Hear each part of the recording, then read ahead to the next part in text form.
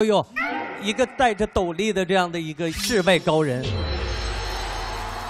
孤舟蓑笠翁，独钓寒江雪。哇，我的天哪！我在想，有这样的工具可以做这样的雕刻吗？可以的。哦。哎，我看这个比较小，你知道吗？就是它上面大，然后中间小。你看，呃，老师，如果你和视线和它齐平的话，你会发现这是一个小孩，然后拎着一个气球。啊，拎着气球要被气球拽飞起来了。哦。这个作品呢，就是想让大家时刻都保持一颗童心。对。哦。是有主题的啊。对。这个摆的很就很特别啊，对，它是把中间的笔芯削了。对对对，整个的。这只呢，就是前期云南不是跑出来几只大象，大象很可爱，然后我就做了一组大象的作品，然后就是希望大家可以珍惜和爱护野生动物。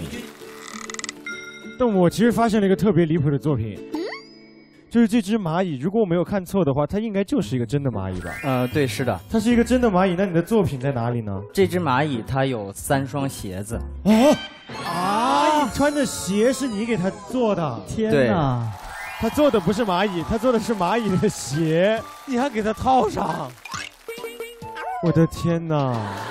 我没有想过我的人生能看到蚂蚁穿着一双鞋。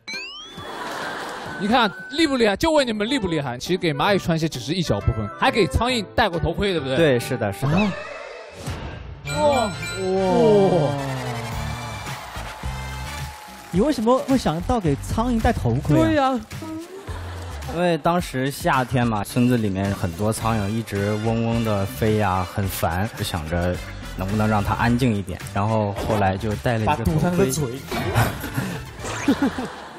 那一般这些作品要练习很多次才能成功，还是说？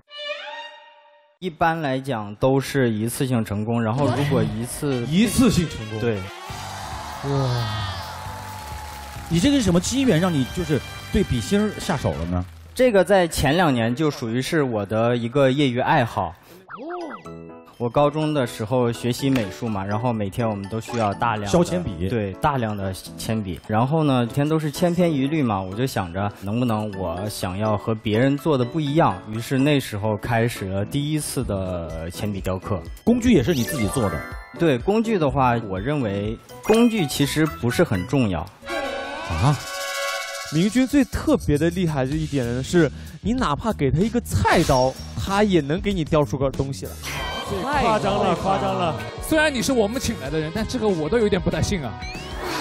你知道美工刀和菜刀差多少吗？我知道，那就来吧，来吧，现场来。功夫再高，别怕菜刀。